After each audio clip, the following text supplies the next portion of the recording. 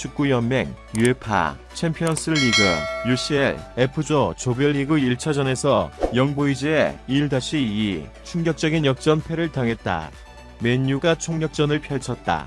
맨유는 호날두를 비롯해 브루노, 포그바, 반더비크, 산초, 프레드, 완비사카, 쇼, 맥과이어, 린델로프, 데헤아를 선발로 투입했다.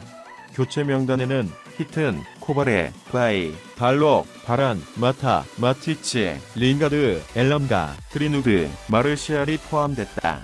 맨유가 이른 시간에 선제골을 기록했다. 이번에도 해결사는 호날두였다.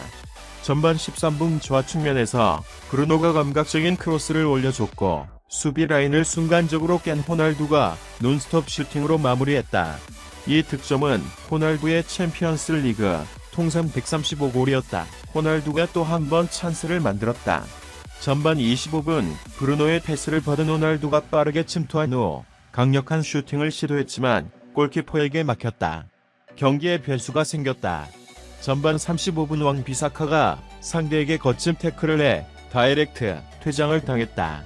이에 맨유는 전반 37분 달롯을 투입하며 수비를 보강했다.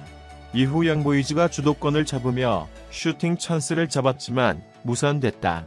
맨유가 후반 시작과 함께 바란을 투입하며 3-5-1 포메이션으로 변화를 줬다. 영보이즈는 시에바체우를 투입하며 공격 숫자를 늘렸다.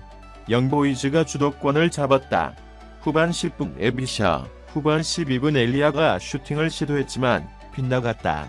결국 맨유가 동점골을 내줬다. 후반 20분 우측면 엘리아의 크로스를 은가말루가 절묘한 논스톱 슈팅으로 득점을 만들었다.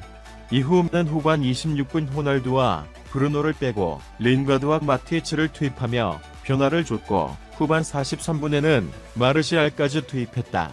맨유가 치명적인 실수로 추가골을 내줬다. 후반 추가 시간 린가드가 치명적인 패스미스를 범했고 시바체우가 극적인 결승골을 성공시켰다. 승자는 영보이즈였다.